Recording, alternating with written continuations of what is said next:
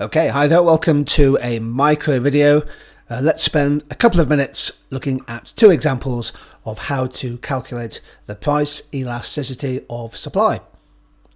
Well, elasticity of supply is a measure of responsiveness of output, if you like, supply of, let's say, a product good X, following a change in demand and price.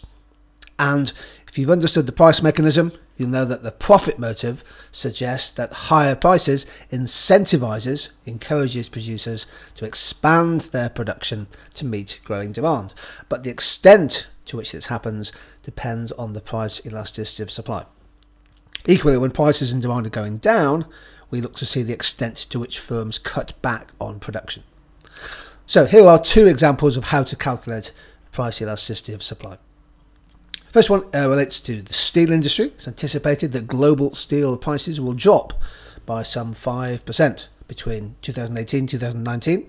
Output in the UK steel industry is forecast to decline from 7,500 metric tons in 2018 to 6,900 metric tons in 2019.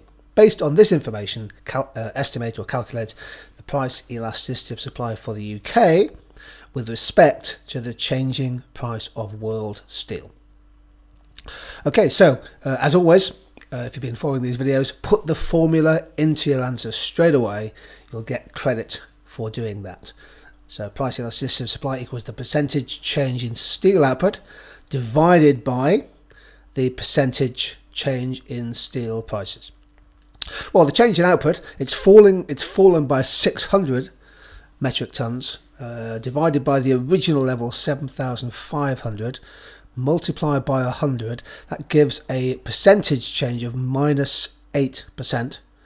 We know that steel prices have fallen by 5%, so our coefficient of elasticity is minus 8 divided by minus 5, giving a coefficient of plus 1.6, which suggests a fairly elastic response. Steel, maybe the British steel industry is sensitive to a fall in the price, it might make some steel plants, for example, less commercially viable, less profitable over time.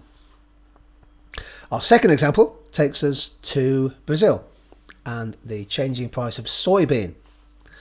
2018, we're told that 119 million metric tons of soybean were produced in Brazil.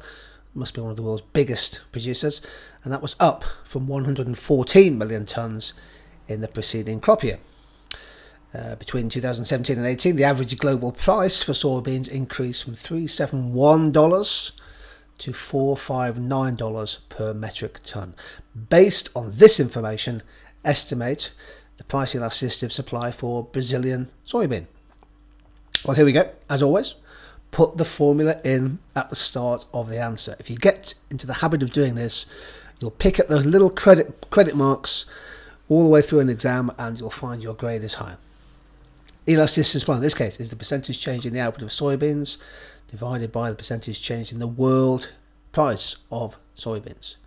So we need to work out two percentages. Well, the change in supply is plus 5 divided by the original 114 times 100. That's plus 4.4%. The change in price is from $371 to 459. That's a change of $88 if my maths is correct. Divide by the original 371 multiply by 100, giving a percentage price increase of plus 23.7. So there's been a 4.4% rise in output, partly on the back of a 23.7% change in the price, giving a coefficient of elasticity of supply, again, plus, supply curves upward sloping, of plus 0.19. That's a low figure. That's a, that's a fairly inelastic supply. Perhaps it takes time for Brazilian soybean producers to ramp up production in response to a change in the world price. There may be some limits or some capacity constraints to their production, certainly in the short term. Perhaps if global prices stay above $450 per tonne, then in the next year we'd expect to see a sharper increase in output, in other words, an increase in the elasticity of supply. So there we go, two examples of how to calculate price elasticity of supply.